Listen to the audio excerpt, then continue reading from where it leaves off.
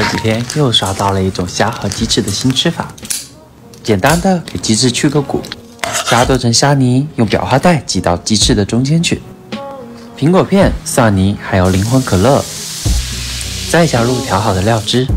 腌制个三十分钟入味，烤箱一百八十度烤二十分钟，趁着这个时候来做一杯喝的，提前泡好的紫米先煮至粘稠，加入红糖，倒入牛奶。糯糯的紫米加上香甜的牛奶，这一杯你可一定要试一试。鸡翅别急着吃，刷上蜂蜜，再复烤五分钟。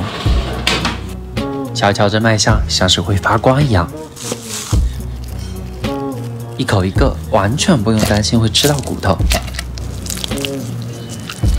嫩滑的鸡翅外衣包裹着 Q 弹的虾滑，快做给你爱的人吃吧。